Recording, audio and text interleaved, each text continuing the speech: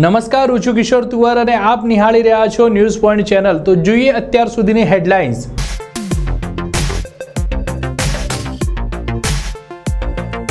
બનાસકાંઠાના કાંકરેજમાં પાટણ લોકસભાના કોંગ્રેસના ઉમેદવાર જગદીશ ઠાકોરનું લોક સંમેલન યોજાયું.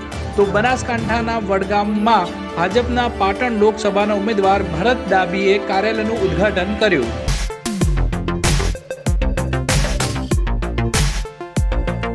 બનાસકાંઠા લોકસભાના કોંગ્રેસના ઉમેદવાર જાહેર નથી કરાયા તો બીજી તરફ પાલનપુરના ધારાસભ્ય મહેશ પટેલ અને પાલનપુર પાલિકાના કોંગ્રેસના વિરોધ પક્ષના નેતા અમૃત જોશીએ પણ લોકસભાના ઉમેદવારી ફોર્મ લેતા અનેક તક વિતક સર્જાયા.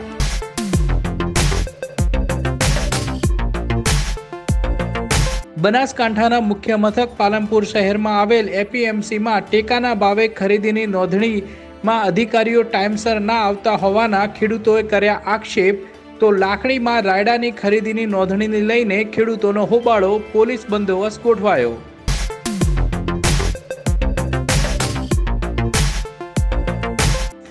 બનાસકાંઠાની શિહોરી જ્યુડિશિયલ કોર્ટે ચેક રિટર્ન કેસમાં એક વર્ષની સજા અને પાંચ હજારનો દંડ વિસનગરના વેપારી દિનેશ પટેલને ફટકાર્યો.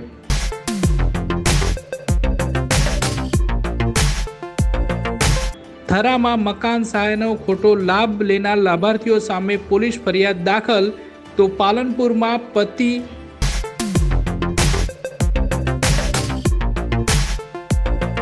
હવે જોઈએ સમાચાર વિગતવાર તો પાટણ જિલ્લાના લોકસભાના ભાજપના ઉમેદવાર ભરતસિંહ ડાબી દ્વારા બનાસકાંઠાના વડગામમાં કાર્યાલયનું ઉદ્ઘાટન કરવામાં આવ્યું હતું. બનાસકાંઠાના વડગામ અને કાંકરેજ એ બંને પાટણ લોકસભા સીટમાં આવે છે. ભાજપના લોકસભાના ઉમેદવાર ભરતસિંહ ડાભીએ આજે કાર્યાલયનું ઉદ્ઘાટન કર્યું હતું. શંકર ચૌધરી હરી ચૌધરી અને અન્ય આગેવાનો પણ ઉપસ્થિત રહ્યા હતા. ભરત ડાભીને નરેન્દ્ર મોદીની સરકારે કરેલા વિકાસના કાર્યો ઉપર જીતનો વિશ્વાસ છે. સરકારની યોજનાઓને લઈને તેઓ પ્રજા સમક્ષ જશે અને પોતાની મોટી લીડથી જીત થશે એવો વિશ્વાસ વ્યક્ત કર્યો હતો. વડગામ તાલુકામાં અનેક સમસ્યાઓ છે. સૌથી મહત્વની સમસ્યા સિંચાઈના પાણીની છે. અગાઉ નેતાઓ પણ આવ્યા હતા અને આ પાણીની સિંચાઈની સમસ્યાને સમાધાનનો પ્રશ્ન માત્ર વડગામની પ્રજાની નિરાશા જ જોવા મળી છે. વર્ષોથી કરમાદ તળાવને ભરવાની વાત છે કે મોકેશ્વર ડેમમાં નર્મદાનું પાણી નાખવાની વાત છે. પરંતુ માત્ર નેતાઓને પાણીની સિંચાઈની યોજના અભરાઈએ રહે છે તે આ વખતે પણ. પાટણ લોકસભાના ઉમેદવારે વડગામની પ્રજાને પાણી મળશે એવો દિલાસો આપ્યો હતો. વર્ષ બે હજાર સત્તરના પૂરમાં કાંકરેજના ખારિયા ગામે તે લોકોના મોત થયા હતા. જેમની રાજ્ય સરકારે તાત્કાલિક મકાનો બનાવી આપવાની જાહેરાત કરી હતી. પરંતુ આજે બે વર્ષ બાદ પણ આ મૃતકોના પરિવારજનોને મકાન બનાવી આપવામાં આવ્યા નથી. સહાય પણ અધૂરી મળી છે. ત્યારે લોકસભાના ઉમેદવારે સરકારની યોજનાના વખાણ કરી સરકારની યોજના અંતર્ગત બે હજાર બાવીસ સુધીમાં મકાન બની જશે એવો દિલાસો આપ્યો હતો. એવું આશ્વાસન આપ્યું હતું જ્યારે એક તરફ રાજ્યના મુખ્યમંત્રીએ પૂર સમયે પીડિતોને તાત્કાલિક મકાન બનાવી આપવાની જાહેરાત કરી હતી. બે વર્ષ બાદ પણ ઉમેદવાર કહી રહ્યા છે, હવે બે હજાર બાવીસ સુધીમાં આ મકાનો બની જશે. બનાસકાંઠા જિલ્લાના થરા ખાતે કોંગ્રેસનું જન આશીર્વાદ સંમેલન યોજાયું હતું, જેમાં જગદીશ ઠાકોર પણ ઉપસ્થિત રહ્યા હતા. થરા ખાતે કોંગ્રેસ દ્વારા યોજાયેલ જન આશીર્વાદ સંમેલનમાં કાંકરેજ પૂર્વ ધારાસભ્ય ધારસીભાઈ ખાનપુરા, વાવ ધારાસભ્ય ઘેનીબેન ઠાકોર, સિદ્ધપુર ધારાસભ્ય ચંદનજી ઠાકોર, ગોપાલસિંહ સોલંકી, પૂરણસિંહ વાઘેલા, ઈશ્વર દેસાઈ, હેમુભાઈ જોશી, પ્રમુખ કાંકરેજ કોંગ્રેસ અમરતજી ઠાકોર, ગુજરાત કોંગ્રેસ પ્રદેશ મંત્રી મૈયદ્દીન ઉકાણી, મહામંત્રી લઘુમતી મોરચો તેમજ અન્ય પદાધિકારીઓ, હોદ્દેદારો અને કોંગ્રેસના કાર્યકરો મોટી સંખ્યામાં ઉપસ્થિત રહ્યા હતા. ત્યારે કાંકરેજ તાલુકાના સમણવા ગામના સરપંચ રણસિંહ ભાજપનું ભગવો ઉતારી કોંગ્રેસમાં જોડાયા હતા અને પાટણ લોકસભા બેઠક ઉપર જગદીશ ઠાકોરને વિજયી બનાવવા માટેની તૈયારી દર્શાવી હતી. આ સંમેલન દરમિયાન જગદીશ ઠાકોરે ભારતીય જનતા પાર્ટીની સરકાર સામે તેજાબી પ્રહારો કર્યા હતા અને બે હજાર સત્તરમાં આવેલા વિનાશકારી પૂરમાં ખેડૂતો માટે અને ગરીબો માટે જાહેર કરેલ પેકેજ ક્યાં ગયા અને પછી પુલવામામાં થયેલા આતંકવાદી હુમલામાં દેશના સૈનિકોને શ્રદ્ધાંજલિ વખતે ફોટા પડાવ્યા અને મત મેળવવા માટેના પ્રયત્નો ભાજપના નેતાઓએ કર્યા તેવા અનેક પ્રકારના આક્ષેપો કર્યા હતા અને પછી જગદીશ ઠાકોરે એક લાખ કરતાં વધુ મતો સાથે જીત મેળવી ભાજપના ઉમેદવારને હરાવીને ઘર ભેગા કરવાની રણનીતિ બનાવી લીધી હોય. એમ સમગ્ર મંડપ પરિસરમાં લોકોએ તાળીઓના ગડગડાટથી જગદીશ ઠાકોરને વધાવી લીધા હતા. પાટણ લોકસભાના કાંકરેજ ધારાસભા મત વિસ્તારની આજે કાર્યકરોની મિટિંગ હતી. કોંગ્રેસ પક્ષને ટેકો આપવા માટે, ઉમેદવારને ટેકો આપવા માટે ખૂબ મોટી સંખ્યામાં કોંગ્રેસનું ધારાસભા, કાંકરેજનું નેતૃત્વ અને કાર્યકર ભાઈઓ બહેનો આવ્યા હતા. ખૂબ એમના આશીર્વાદ ભૂતકાળમાં મળ્યા છે, આજે મળી રહ્યા છે અને આવતા દિવસોને પણ મળશે. કોંગ્રેસ પાટણમાં જ્વલંત મતોથી જીતે છે અને જીતની પાછળ જો કોઈ કારણ હોય તો કોંગ્રેસનો કાર્યકર છે, કોંગ્રેસનો મતદાર છે અને જે કોંગ્રેસનો મતદાર નહોતો ને ભારતીય જનતા પાર્ટી સાથે જોડાયેલો વેપારી વર્ગ હતો કે બીજા મતદારો હતા, એ ભારતીય જનતા પાર્ટીના જીએસટીના કાયદા હોય, ભ્રષ્ટાચાર હોય કિન્નાખોરીવાળી એમની રાજનીતિ હોય એનાથી પણ કંટાળી ગયો છે અને એનો મતદાર પણ ભાજપથી કંટાળી અને કોંગ્રેસને મત આપશે, કોંગ્રેસના ઉમેદવારને મત આપશે. એ આજે આપ જનસમૂહથી પણ જોઈ શકો છો અને ચોરે ને ચૌટે જે ચર્ચાઓ છે, એનાથી પણ આપ સૌને ખ્યાલ આવશે. બનાસકાંઠા લોકસભા સીટ પર કોંગ્રેસના કોઈપણ ઉમેદવાર અત્યાર સુધી જાહેર નથી કરાયા ત્યારે આજે પાલનપુરના ધારાસભ્ય મહેશ પટેલ દ્વારા ફોર્મ લેવામાં આવતા અનેક તર્ક વિતર્કો લગાવવામાં આવી રહ્યા છે. સૌથી મહત્વના સમાચાર પાલનપુરથી મળી રહ્યા છે. બનાસકાંઠા લોકસભાની સીટ પર ફોર્મ વિતરણનું અત્યારે ચાલુ છે અને ફોર્મ ભરવાની છેલ્લી તારીખ ચાર એપ્રિલ છે. ત્યારે આજે બીજી એપ્રિલે પાલનપુરના કોંગ્રેસના ધારાસભ્ય મહેશ પટેલ દ્વારા ફોર્મ લેવામાં આવ્યું છે. મહેશ પટેલ આજે પોતે જાતે જ લોકસભા ઉમેદવારીનું ફોર્મ લેવા કલેક્ટર કચેરી પહોંચ્યા હતા અને ચૂંટણી પંચની ઓફિસમાંથી પાલનપુરના ધારાસભ્ય મહેશ પટેલે ફોર્મ લીધું હતું. મહેશ પટેલને લઈને અનેક ચર્ચાઓ અત્યારે ચાલુ થઈ ગઈ છે. લોકસભાના ટિકિટ અત્યાર સુધી કોંગ્રેસ દ્વારા કોઈને ફાળવવામાં નથી આવી ત્યારે ધારાસભ્ય મહેશ પટેલ દ્વારા ઉમેદવારી ફોર્મ લેવામાં આવતા અનેક તર્ક વિતર્ક પણ સર્જાઈ રહ્યા છે. ત્યારે બીજી વાત કરીએ તો કોંગ્રેસના વિરોધ પક્ષના નેતા અમૃતભાઈ જોશી દ્વારા પણ લોકસભાનું ફોર્મ લેવામાં આવ્યું છે. ચૂંટણી પંચમાંથી લોકસભાનું ફોર્મ કોંગ્રેસના વિરોધ પક્ષના નેતા અમૃતભાઈ જોશી દ્વારા પણ લેવામાં આવ્યું છે. આમ કોંગ્રેસના જે અમૃતભાઈ જોશી અને પાલનપુરના ધારાસભ્ય મહેશ પટેલ દ્વારા જે ફોર્મ લેવામાં આવ્યા છે તેને લઈને અનેક તર્ક વિતર્ક થઈ રહ્યા છે. લોકસભાની કોંગ્રેસની બનાસકાંઠાની સીટ પર હજી સુધી ઉમેદવાર જાહેર નથી કરાયા. લોકસભા સીટના ઉમેદવાર તરીકે પરથીભાઈ પટેલ, ગોવાભાઈ તેમજ જોઈતાભાઈના નામો પણ ચાલી રહ્યા છે. દિનેશભાઈ ગઢવીનું પણ નામ ચાલી રહ્યું છે. ત્યારે આ ચાર લોકો હજી સુધી ઉમેદવારી ફોર્મ લીધા નથી. પરંતુ પાલનપુરના ધારાસભ્ય મહેશ પટેલ તેમજ પાલનપુરના વિરોધ પક્ષના નેતા અમૃતભાઈ જોશી દ્વારા જે ઉમેદવારી ફોર્મ લેવામાં આવ્યા છે. તેને લઈને અનેક તર્ક વિતર્ક પણ થઈ રહ્યા છે.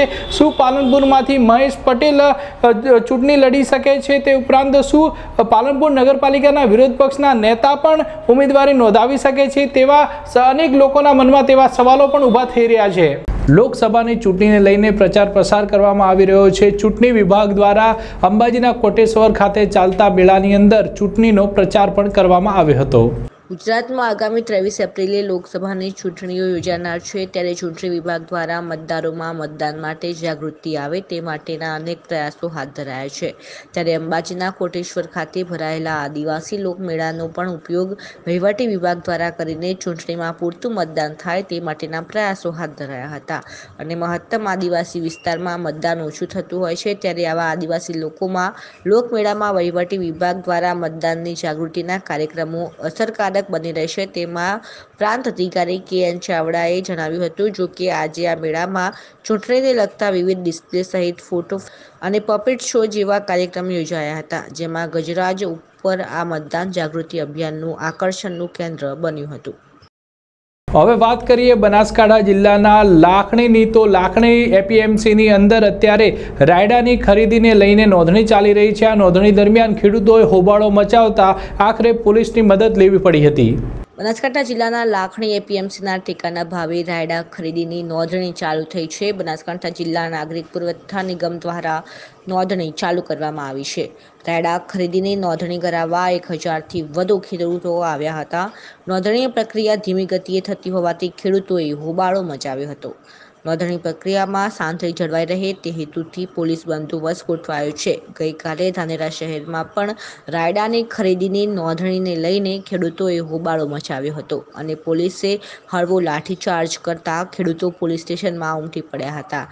અત્યારે સમગ્ર જિલ્લાની અંદર રાયની ખરીદીને લઈને નોંધણી થઈ રહી છે. ત્યારે આ નોંધણીની અંદર કેટલાક કિસમો લાઈનો તોડીને સેટિંગ કરીને સૌથી પહેલા નોંધણી કરાવી રહ્યા છે. તેવું ખેડૂતો આક્ષેપ લગાવી રહ્યા છે. એવું ખેડૂતોને આવી રીતે હેરાનગતિ ના થવી જોઈએ.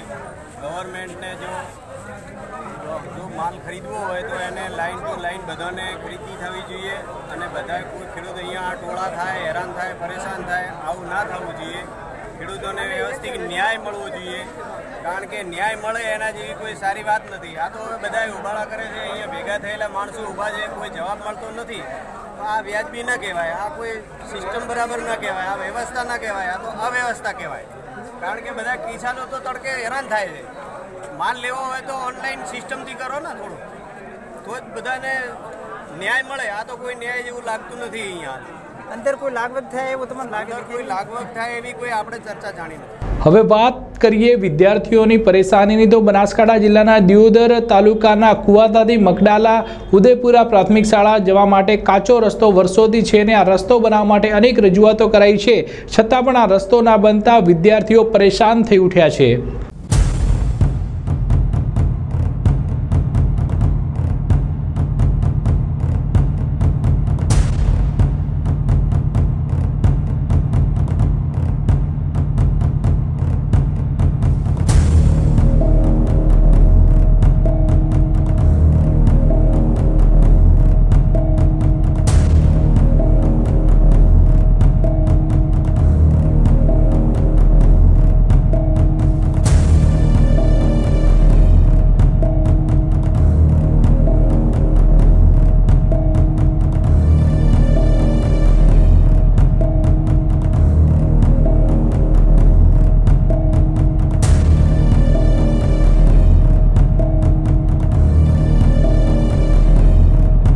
ગુજરાત સરકાર દ્વારા દરેક તાલુકાના ગામડાને વિકાસશીલ ગામડા બનાવવા માટે કાચા માર્ગને પાકા બનાવવામાં આવ્યા છે.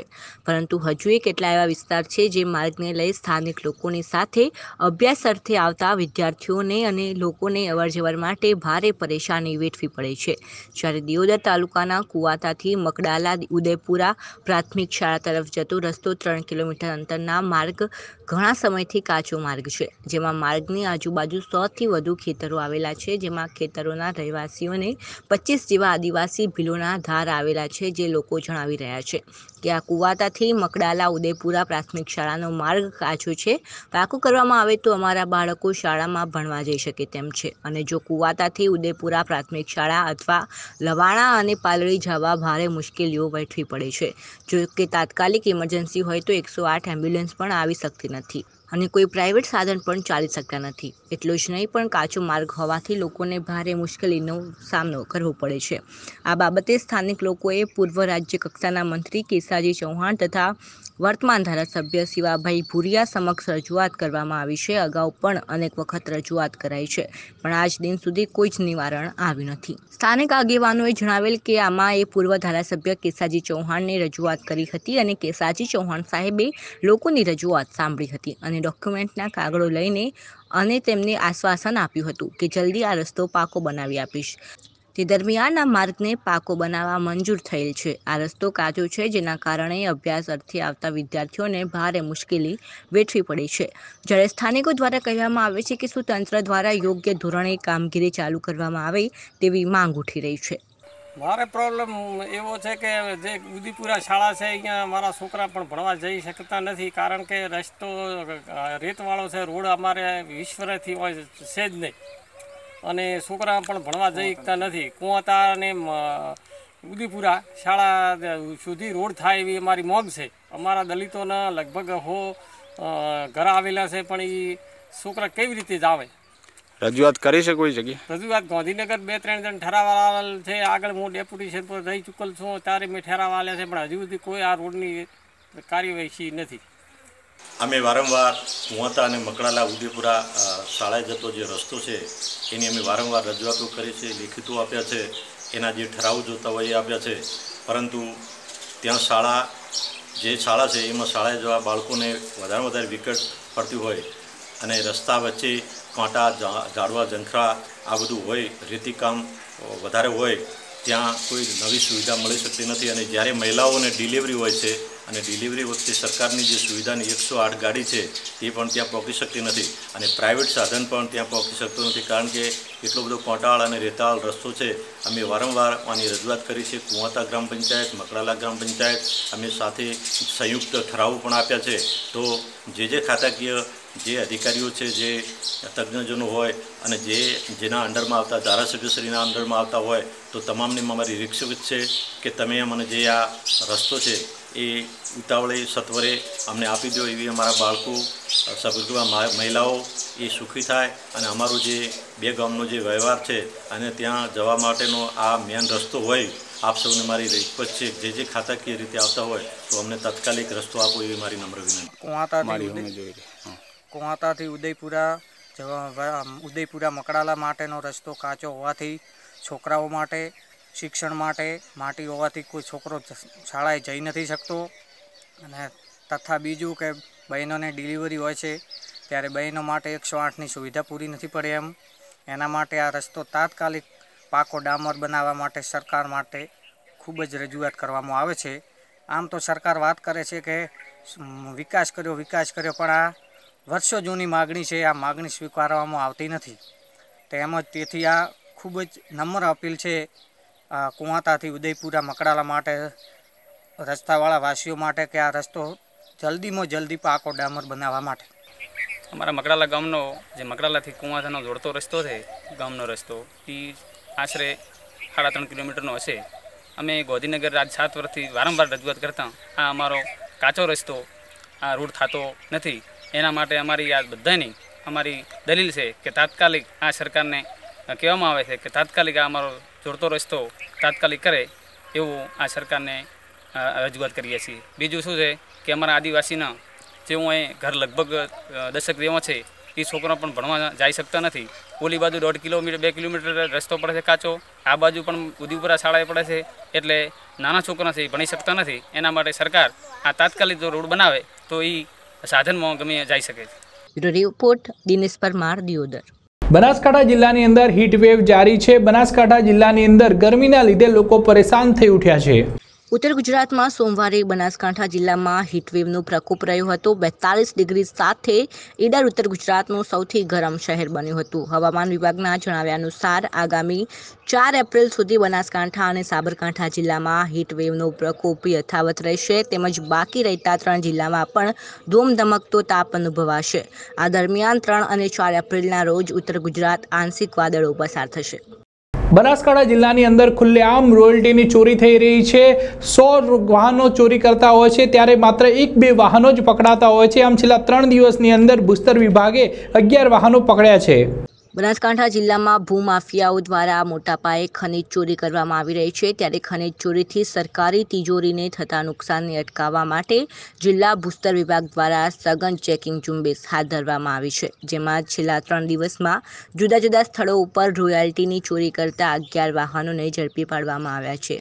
અને આ વાહનોના માલિકો વિરુદ્ધ દંડનીય કાર્યવાહી કરવામાં આવતા ભૂમાફિયાઓમાં ફફડાટ ફેલાઈ જવા પામ્યો છે.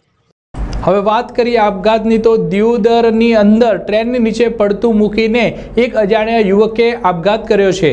બનાસકાંઠામાં હમણાંથી ટ્રેન નીચે પડતું મૂકી આત્મહત્યા કરવાના બનાવો વધી રહ્યા છે. ત્યારે મંગળવારે દિયોદરની ભાભરે રેલવે લાઇન પર એક આશાસ્પદ યુવકે અગમ્ય કારણોસર ટ્રેન નીચે પડતું મૂકી આપઘાત કરી લેતા ચકચાર મચી જવા પામી છે. ઘટનાની જાણ થતાં લોકોના ટોળે ટોળા ઉમટી પડ્યા હતા. પોલીસે ઘટના સ્થળે પહોંચી મૃતકની લાશને પીએમ માટે દિયોદર રેફરલ હોસ્પિટલમાં મોકલી આપી છે. સમય થયો છે એક નાનકડા વિરામનો. વિરામ બાદ જોઈશું રાજ્યના અન્ય કેટલાક સમાચારો. Angel school Deesa. નર્સરીથી ધોરણ બાર સાયન્સ કોમર્સ સુધીની અંગ્રેજી અને ગુજરાતી માધ્યમની સંપૂર્ણ સ્કૂલ હવા ઉજાસવાળા અને સ્વચ્છ digital classrooms library computer lab physics biology અને કેમિસ્ટ્રી લેબની સગવડ સ્કેટિંગ આર્ચરી અને સેપક ટકરાવ જેવી રમતગમતની સુવિધાઓ. Dance music and monthly competitions secondary અને હાયર સેકન્ડરી સેક્શનમાં મંથલી મોટિવેશનલ પ્રોગ્રામ સ્થળ angel school Mahalaxmi park Patan highway Deesa. Admission open તારીખ પંદર બે બે હજાર ઓગણીસ સુધી એડમિશન ફોર્મ મેળવી લેવા. બાબર પોલીસે રેડ કરીને આઠ જુગારીયાઓને જુગાર રમતા રંગે હાથ ઝડપી લીધા છે. ભાભર પોલીસે ભાભર જૂના ખાતેથી જુગારિયા ઝડપ્યા ભાભર જૂના ખાતેથી ડેલાની ખુલ્લી જગ્યામાં ધાણા પાસા પર જુગાર રમી રહ્યા હતા ઈસમો ડેલાની ખુલ્લી જગ્યામાં આઠ ઈસમો રમી રહ્યા હતા જુગાર. પોલીસે રેડ દરમિયાન ત્રણ લોકોની પોલીસે કરી અટકાયત. પાંચ શખ્સો અંધારાનો લાભ લઈ ભાગમાં રહ્યા સફળ. પ્રતાપસિંહ રાઠોડ નામનો શખ્સ પોતાના ડેલામાં રમાડી રહ્યો હતો જુગાર. પોલીસ રેડ દરમિયાન જુગારિયા પાસેથી કુલ રૂપિયા છેતાલીસ હજાર છસો વીસ કબજે કર્યા. ભાભર પોલીસે આઠ ઇસમો સામે ગુનો નોંધી વધુ તપાસ હાથ ધરી. મોડાસા રૂરલ પોલીસ સ્ટેશનના કસ્ટડીમાંથી બે આરોપી ફરાર થયા હતા. આઠ દિવસ વીતવા છતાં પણ હજુ સુધી આરોપી ના પકડાતા અનેક તર્ક વિતર્ક સર્જાઈ રહ્યા છે. મોડાસા રૂરલ પોલીસની કસ્ટડીમાંથી બે આરોપીઓ ફરાર થવાનો કેસ. એક સપ્તાહથી વધુ સમય વીતવા છતાં આરોપીઓ પોલીસ પકડથી દૂર. ફરજમાં બેદરકારી દાખવનાર પોલીસકર્મી વિરુદ્ધ કાર્યવાહી મંથન ગતિએ. ચોરીના ગુનામાં બે આરોપીઓ પોલીસ સ્ટેશનની કસ્ટડીમાંથી થયા હતા ફરાર. મુકેશ જોગી અને રાજુ કાલબિલિયા બંને આરોપીઓ સુધી પહોંચવામાં નિષ્ફળતા. એસઓજી, એલસીબી સહિતની પાંચ ટીમોની કાર્યવાહીથી અનેક શંકા, કુશંક. જિલ્લા ડીએસપી મયુર પાટીલ રસ લેશે તો જ યોગ્ય કાર્યવાહી થાય તેમ છે તેવી લોકમુખે ચર્ચાઈ રહ્યું છે. હવે વાત કરીએ બનાસકાંઠા જિલ્લાના મુખ્ય મથક પાલનપુરની. તો પાલનપુરની અંદર પણ રાયડાની ખરીદીને લઈને અત્યારે નોંધણીની પ્રક્રિયા ચાલુ છે. તે દરમિયાન ખેડૂતોનું કહેવું છે કે દસથી ચારનો ટાઈમ હોવા છતાં પણ જે અધિકારીઓ છે તે ટાઈમસર હાજર નથી રહેતા. તેના લીધે ખેડૂતોને પરેશાન થવાનો વારો આવે છે. આજે બનાસકાંઠા જિલ્લાના પાલનપુરના ખેતીવાડી ઉત્પન્ન બજાર સમિતિમાં ખેડૂતોએ હોબાળો મચાવ્યો હતો. મળતી માહિતી મુજબ ખેડૂતોનું કહેવું છે કે રાયડાના ટેકાના ભાવની નોંધણી પ્રક્રિયા ચાલુ છે. ત્યારે રોજ રોજ દૂર દૂરથી આવીને હેરાન થવાનું થાય છે અને નોંધણીનો સમય દસથી ચાર વાગ્યા સુધીનો રાખેલ હોવા છતાં અધિકારીઓ ટાઈમ પર હાજર થતા નથી અને ખેડૂતોએ વારંવાર ધક્કા ખાવા પડતા હોય છે. નોંધનીય છે કે સિસ્ટમ અને સરકારની આ સિસ્ટમથી ખેડૂતોમાં નારાજગી જોવા મળી રહી છે. અમે સાહેબને દસ ફોન કર્યા છે. સાહેબ અડધો કલાકમાં આવું છું. દસ વાગ્યાથી આજ સુધીમાં અડધો અડધો અડધો કલાક પણ સાહેબ, આવતા નથી. બીજું, પ્રફુલભાઈને દસ ફોન કર્યા છે. પ્રફુલભાઈ રિંગ વાગે છે, પણ પ્રફુલભાઈ ઉપાડતા નથી. પછી ત્રીજી વસ્તુ અમે બેનને રિક્વેસ્ટ કરી કે બેન, અમને ટોકન આપો. બાકીના વીસ માણસો રાખો, બાકીના માણસોને ટોકન આપો. ચાર ચાર વાગે બંધ થઈ ગયો તો ચાર વાગ્યા પછી તમે બીજા દિવસે મળત આપો કે એક એક એક દિવસે આપો એ રીતે તમે કામ આપો તો તમે આવી સિસ્ટમ ગોઠવો. એ માણસ હેરાન થાય. આજે માણસ ખેડૂત આવ્યો છે અને એ ખેડૂત કાલે ફ્રી આવશે ફરી આવશે તો તમે લાવવાનો નથી એટલે ખેડૂતને હેરાન ન થાય કે સિસ્ટમથી કામ થતું હોય તમને ઊંધો નથી અત્યારે ખેડૂતોને લાઈનમાં ઊભા છે, તો પચીસ પચીસ ખેડૂતોને ટોકન આપી દે તો એ કાલે બીજા દિવસે આવે અને હેરાન ના થાય એ કહેવાનું થાય છે. બીજું કંઈ કોમ્પ્યુટરના વિભાગ બીજો એક ચાલુ કરે. સાજળભાઈ બનાસકાંઠા લોકસભા સીટના ઉમેદવાર પરબતભાઈ પટેલ ચોથી એપ્રિલના રોજ ઉમેદવારી પત્ર ભરશે. પુરુષોના પ્રાચીન નૃત્ય અને મહિલાઓના લોકોના ગીતોને સાંભળો. આ કોઈ નવરાત્રિમાં ચાલતા મા અંબાના ગરબા નથી, પરંતુ બનાસકાંઠાના ડિસ્સા હોળીના પર્વની થતી પ્રાચીન પરંપરાનો આ એક હિસ્સો છે. રાજસ્થાનમાં સદીઓથી મારવાડી સમાજ હોળીના પર્વને દિવાળી કરતાં પણ વિશેષ મહત્ત્વ આપે છે અને હોળીની ઉજવણી પ્રસંગે પુરુષો હાથમાં દંડા લઈ ઘેર નૃત્ય રમતા હોય છે.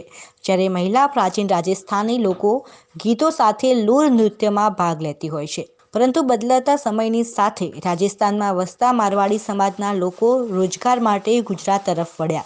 અને તેમની આ પ્રાચીન પરંપરા ધીરે ધીરે લુપ્ત થવા લાગી. પરંતુ બનાસકાંઠા દિશામાં આવી સ્થાયી થયેલા રાજસ્થાની મારવાડી સમાજ છેલ્લા પચીસ વર્ષોથી પોતાની આ પ્રાચીન પરંપરાને જીવંત રાખતા દર વર્ષે ધૂળેટીની સમી સાંજે ઘેર બાબર શહેરમાંથી મોટરસાયકલની ઉઠાંતરી થઈ હતી. આ બાબતે ભાબર પોલીસે ગુનો નોંધીને વધુ તપાસ હાથ ધરી છે. બનાસકાંઠા જિલ્લામાં વધતા જતા વાહન ચોરીના બનાવોને લઈને લોકોમાં ફફડાટ ફેલાયો છે. તેમાં જિલ્લાના ભાબર એપીએમસી ખાતેથી એક મોટરસાયકલ ચોરાઈ જતા આ બાબતે ભાબર પોલીસ મથકે ફરિયાદ નોંધવા પામી છે. આ બનાવમાં વેનાભાઈ રાવતાભાઈ પટેલ નામના રામપુરા તાલુકો દિયોદરવાળાનું મોટરસાયકલ તેઓએ માર્કેટયાર્ડમાં આવેલ પ્રભુજી નગાજીની પેઢી સામે મૂકેલ હોય ત્યાંથી કોઈ ઈસમે ચોરી કરી લઈ જતા આ બાબતે તેઓએ નોંધાવેલી ફરિયાદ આધારે પોલીસે ગુનો નોંધી વધુ તપાસ હાથ ધરી છે. હવે વાત કરીએ ખોટી રીતે મકાન સહાય લેતા લોકોની તો થરાની અંદર પાકું મકાન હોવા છતાં પણ ખોટી રીતે મકાન સહાય લેવા જતાં આખરે થરા પોલીસ મથકે આવા લોકો સામે ફરિયાદ નોંધાઈ છે. જ્યાં સરકાર દ્વારા ગરીબ લાભાર્થીઓને રહેવા માટે મકાન બનાવી આપવા માટેની યોજનાઓ અમલી બનાવાઈ છે, પરંતુ કેટલાક લોકો સરકાર સાથે છેતરપિંડી આચરીને આવા લાભો લઈ લેતા હોય છે. તેમાં થરામાં ખોટા એકરારના નામો કરી પાકા મકાન ધરાવતા લોકોએ મકાન સહાયનો હપ્તો લઈ લાભ લેતા આ બાબતે ભાંડાફોડ તથા સરકાર સાથે વિશ્વાસઘાત કરી છેતરપિંડી આચરવા અંગેની ફરિયાદ થરા પોલીસ મથકે નોંધવા પામી છે. ઉપરોક્ત બનાવની વિગત એવી છે કે થરા નગરપાલિકામાં ઇજનેર તરીકે ફરજ બજાવતા લાલાભાઈ બાબુભાઈ ચૌધરીએ થરા પોલીસ મથકે થરા ગામના અમરતજી, જીવતજી ઠાકોર અને ભાવનાબેન વિપુલકુમાર પ્રજાપતિ સામે ફરિયાદ નોંધાવી છે. તેમાં જણાવવામાં આવ્યું છે કે ગુજરાત સરકારના શહેરી વિકાસ અને શહેરી નિર્માણ વિભાગના ઠરાવ ક્રમાંકના ફકરામાં શરત મુજબ અરજદારોએ અગાઉ પ્રધાનમંત્રી આવાસ યોજના હેઠળ અથવા સરકારની બીજી કોઈ આવાસ યોજના હેઠળ લાભ લીધેલ ન હોય અને કુટુંબના કોઈ સભ્ય ભારતભરમાં ક્યાંય પણ પાકું મકાન ધરાવતા ન હોય તો રૂપિયા વીસના સ્ટેમ્પ પેપર ઉપર નમૂના પત્રક મુજબ સોગંદનામું રજૂ કરી આવાસ યોજનાનો લાભ મેળવી શકાય તેમ જણાવવામાં આવેલું છે. પરંતુ અમરતજી જેવતજી ઠાકોરના પત્નીના નામે થરા નગરપાલિકાના આકરણી રજિસ્ટર નોંધમાં ગુજરાત ગૃહ નિર્માણ બોર્ડની સહાય મેળવેલ હોવા છતાં, ખોટું એકરારનામું કરી આ યોજના હેઠળ સહાયનો પ્રથમ હપ્તો રૂપિયા ત્રીસ હજારનો મેળવી લીધો હતો. જ્યારે ભાવનાબેન વિપુલકુમાર પ્રજાપતિએ પણ તેમના પતિના નામે પાકું મકાન ધરાવતા હોવા છતાં ખોટું એકરારનામું કરીને આ યોજના હેઠળ રૂપિયા ત્રીસ હજારનો હપ્તો મેળવી લઈ સરકાર સાથે ગુનાહિત વિશ્વાસઘાત કરી ઠગાઈ આચરી હોવાની ફરિયાદ નોંધાવતા પોલીસે ફરિયાદ આધારે ગુનો દાખલ કરી વધુ તપાસ હાથ ધરી છે. આમ બનાસકાંઠા જિલ્લામાં ખોટા એકરારનામા કરીને મકાન સહાય મેળવવાનું કૌભાંડ બહાર આવ્યું છે. ત્યારે તપાસમાં વધુ વિગતો ખુલે અને અન્ય લોકોની પણ સંડોવણી બહાર આવે તેવી શક્યતા છે. કાંગ્રેજ તાલુકાની સિહોરી જ્યુડિશિયલ કોર્ટે ચેક રિટર્ન કેસની અંદર એક વર્ષની સજા અને પાંચ હજાર રૂપિયાનો દંડ ફટકાર્યો છે. બનાસકાંઠા જિલ્લાના કાંકરેજ તાલુકાના સિહોરી જ્યુડિશિયલ કોર્ટમાં ચેક રિટર્ન કેસમાં એક વર્ષથી સજા ફટકારી અને રૂપિયા પાંચ હજારનો દંડ ફટકાર્યો છે. ખેડૂતો પાસે બિયારણ ખરીદી માટેના ચેક રિટર્ન થતાં વર્ષ બે હજાર સાતમાં સિહોરી કોર્ટમાં બાર વર્ષ બાદ સિહોરી જ્યુડિશિયલ મેજિસ્ટ્રેટ ડીજી વાઘેલાએ વિસનગરના વેપારી દિનેશ પટેલને એક વર્ષથી સજા તેમજ રૂપિયા પાંચ હજારનો દંડ ફટકાર્યો છે. ખસ્સા અને જાખેલના બે ખેડૂતોને આપેલ સાત પોઈન્ટ સત્યાસી લાખના ચેક રિટર્ન થયા પછી બાર વર્ષ બાદ ખેડૂતોને ન્યાય મળ્યો છે. હવે વાત કરીએ સોશિયલ મીડિયાના દુરુપયોગની તો પાલનપુર શહેરની અંદર યુવક દ્વારા અજાણ્યા ઇસમનું આઈડી બનાવીને તેની જે પત્ની અને અન્ય યુવકના ફોટો ફેસબુકમાં અપલોડ કરવામાં આવતા આખરે પોલીસ સ્ટેશનમાં ફરિયાદ નોંધાઈ છે. પાલનપુર પંથકમાં એક વ્યક્તિના નામનું ખોટું ફેસબુક આઈડી બનાવીને જે નામનું આઈડી બનાવેલ હતું, તેની જ પત્નીના અન્ય કોઈ યુવક સાથેના અશ્લીલ ફોટા ફેસબુક ઉપર અપલોડ કરી વાયરલ કરતા આ બાબતે પાલનપુર તાલુકા પોલીસ મથકે ફરિયાદ નોંધવા પામી છે. તેમાં પોલીસે હાલમાં ગુનો દાખલ કરી કેસની ઘનિષ્ઠ તપાસ હાથ ધરી છે. બનાસકાંઠા જિલ્લામાં પણ સોશિયલ મીડિયામાં ખોટી અને બદનામ કરવાના ઈરાદે કેટલીક પોસ્ટો ફરતી જોવા મળી રહી છે. તેમાં આવી જ એક ઘટના સંદર્ભે પોલીસ દફતરે ફરિયાદ નોંધવા પામી છે. તેમાં પાલનપુર તાલુકાના એક ગામમાં રહેતા અને ખેડૂત પરિવાર સાથે સંકળાયેલા વ્યક્તિના નામનું ખોટું ફેસબુક આઈડી બનાવીને આ ફેસબુક આઈડી પર અજાણ્યા વ્યક્તિએ જે નામનું ફેસબુક આઈડી બનાવ્યું હતું, તે જ વ્યક્તિની પત્નીના અન્ય કોઈ યુવક સાથેના અશ્લીલ ફોટા અપલોડ કરી ફેસબુક ઉપર વાયરલ કરી, પતિ પત્ની બદનામી થાય તેવા આશયથી આ કૃત્ય કર્યું હોવાની ફરિયાદ પાલનપુર તાલુકા પોલીસ મથકે નોંધાવતા પોલીસે હાલમાં તેમની ફરિયાદ આધારે આઈપીસીની કલમ તથા આઈટી એક્ટ કલમ છાસઠ ઈડી સડસઠ એ મુજબ ગુનો દાખલ કરી વધુ તપાસ Palanpur circle PI N D અસારીએ હાથ ધરી છે. તો હતા અત્યાર સુધીના સમાચાર. નમસ્કાર.